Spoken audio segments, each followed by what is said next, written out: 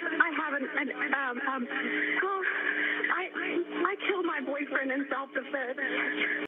On October 12, 2012, Shayna Hubers shot and killed her boyfriend, Ryan Carter, in Highland Heights, Kentucky. She immediately called 911 and told them what had happened, claiming she had killed him in self defense. The couple had met on Facebook through mutual friends and dated on and off for about 18 months. To say Shayna was obsessed with Ryan would be an understatement. The problem was, Ryan had trouble hurting her feelings and letting her go. No, 12 Meadow Lane, me and my children and stuff. Okay, okay, okay, okay. Tell me again. Tell me again what unit you're in. It's not showing on my computer. It's 10, it's unit 10. Okay, you're 12 Meadow Lane, unit number 10. Okay, hold on, hold on. What did you kill him with? Tell me where the gun is right now. The gun is in the house. Ryan finally gathered enough courage to separate with Shayna. After their breakup, he had scheduled a date with Miss Ohio of 2012, Audrey Bolte. On the night of the date, Shayna knocked on Ryan's door. Her goal was to win him back, and when that didn't work, she shot and killed him. Where are you? I'm standing about 10 feet from his dead body. Okay, are you sure that he is dead?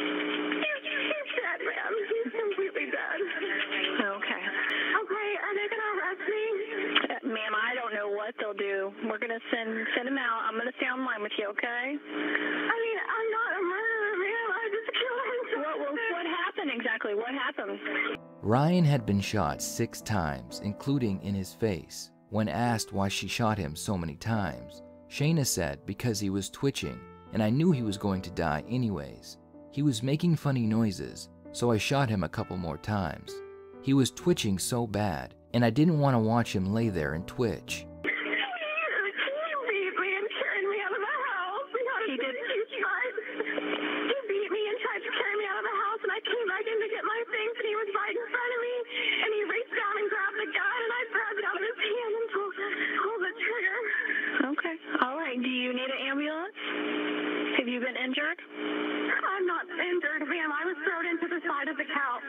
Prosecutors say Shayna killed Ryan because he was leaving her. Shayna claims Ryan pressured her to perform sex acts and was abusive. She said her inability to orgasm with Ryan was a sticking point in the relationship. He he slammed you into the couch, but you don't have any injuries. I don't have any injuries. I was just very frightened. He's he picked, he's a lot bigger than me. He's 6'3", 200 pounds. I'm 5'8", 120. And he's and he picked me up was carrying me out of the house. And I said, let me get my things at least if we're gonna break up. And and he wouldn't let me get my things. And when I reached around to try to get my things, he I can hear myself echoing in the background, ma'am. It's it's just this phone system. This phone system has got a delay. And he he pushed me down from from the door all the way to the couch. And when they come here, they'll see how far that is. He threw me across the room,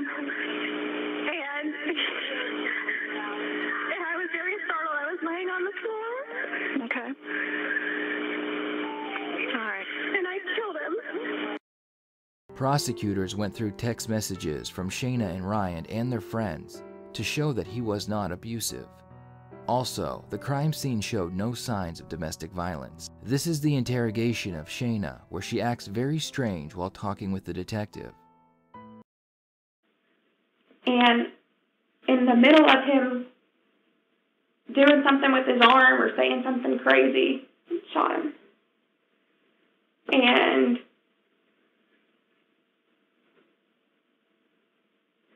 I thought, oh my God, what have I done? You know? And She is about to explain why she killed Ryan after he was wounded.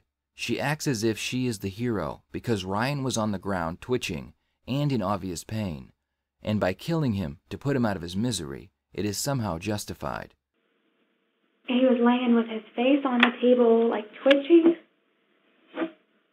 And so I knew he was going to die a very slow and painful death. I knew he was already dead, you know, and within the next 20 seconds.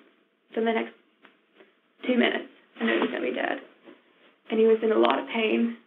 He was twitching, he was moaning, but he was ultimately dead. And so I shot him enough times to kill him so that he wouldn't suffer. At that point, which was a few more times. And he, I shot him, I think I shot him twice. Thought he was completely dead and he was laying there still, twitching and making noises. And I shot him in the head. She now begins to walk around the room, continuing to explain with hand gestures that Ryan was going to die anyways, so she did the right thing. I probably should have left it there, but I knew he was going to die. Mm-hmm. Or have a very deformed face. And you were concerned. And I knew, oh no, he would have died. He was already dying. He was already, he was dying. But I just walked around the table and shot him where I knew he would die immediately.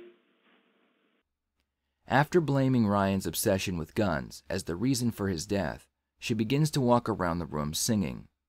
His fast. His obsession with guns killed him. You know, I would have never, I'm so Democrat, I would have never touched a gun in my life until I dated him. Mm-hmm.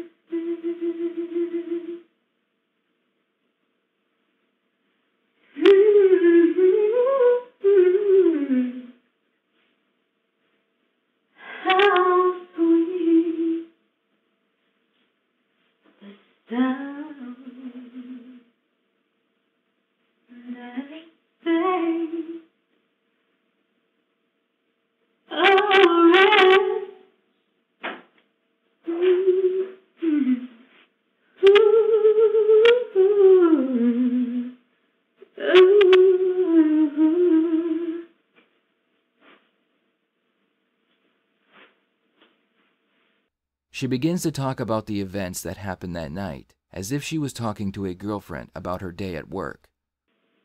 he had put his arm across the table and there's a lamp and he had put his arm across the table and had it in my face and was screaming at me at the top of his lungs after he had thrown me around the room and was saying emotionally to me I hate you. I hate everything about you for what you are my family. And he was screaming and he was he had his hand on the table, and he wasn't completely standing up. He was like this. So it was like, He was sitting. He was enough that when I shot him, he was went like this, literally. That's when I knew he was dead, or close to it, and Mhm. twitching. And that's and I couldn't. I let him. I still, even though it hurt, I still enough of me loved him. She will begin to laugh after explaining that Ryan was vain and wanted a nose job, so by shooting him in the face, she gave him what he wanted. That I couldn't stand to watch him twitch. I knew he was going to die or have a completely deformed face. He's very vain. One of our last conversations we had that was good was that he wants my best friend who's a dentist to do his veneers and wants to get a nose job.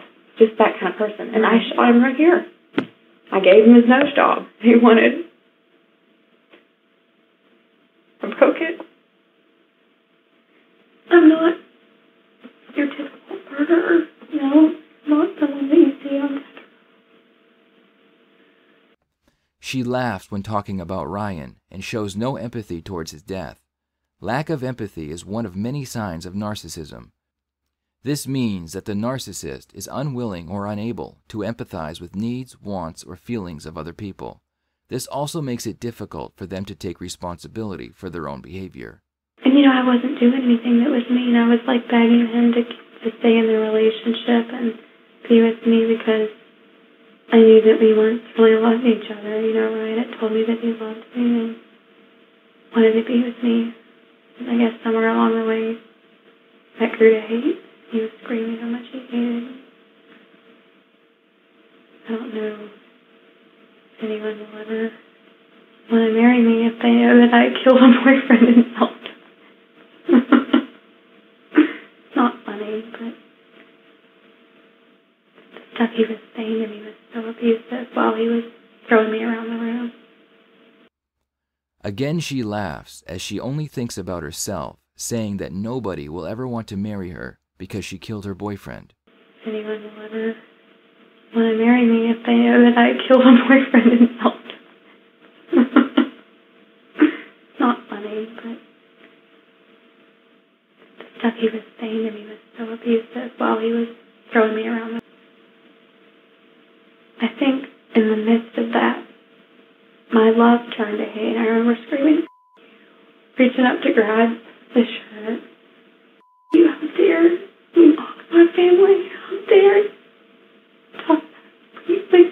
of my mother my family? If I don't get any serious consequences, then I could really be happy just having a career and maybe not even ever getting married. Because it's just very traumatic, you know. Very traumatic for me to live with it. I have to know that I did that for someone that I told every day, I love you. She continues to focus on herself, saying words like me and I. She talks about how she will never have a career or a life. She says that it is a very traumatic situation for her to have to live with it. One major indicator of narcissism is someone acting self centered. People who were put on a pedestal as a child and were their parents' whole world or didn't receive enough discipline can easily become narcissistic. I think in the midst of that, my love turned to hate. I remember screaming, reaching up to grab the shirt. You out there, you mock my family? You? I didn't do anything that was mean. I was like begging him to to stay in the relationship and be with me because I knew that we weren't really loving each other. You know, Ryan had told me that he loved me and wanted to be with me. I guess somewhere along the way, that grew to hate. He was screaming how much he hated me. Shayna received life in prison for her murder. While imposing the sentence, the judge said, Your actions that evening were grossly violent and intentionally calculated to cause his death. Shayna showed no visible emotion during sentencing or when bailiffs escorted her away. It appears that you've fallen in love. Yes. How did that happen? Um, I can only describe it as um, like a spiritual encounter that I had with another person that I met here a couple years ago that I grew to know over the years. Years after her initial arrest, Shayna requested to be interviewed in prison. Her main goal was to talk about how she was in love with someone new and how the prison was not allowing them to get married. I I feel as if I've been retaliated against at the actual institution at the at the jail because the jailer was contacted by Richard McBee, Unique Taylor, and that he didn't want any type of retaliation. Um, I I was moved to a different cell. All of my legal documents for my court case were taken from me. This interview gave Shayna a chance to show sympathy and remorse to the world, but instead, she chose to talk about how having the trial take place in the same town as the murder was just not fair to her. When you were with Ryan, though, did you identify as, as bisexual, as lesbian? I guess I guess I'm trying to figure out how, you know, you've fallen in love with with. I don't believe now.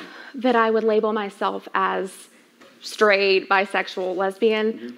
I am someone who has fallen in love with certain people.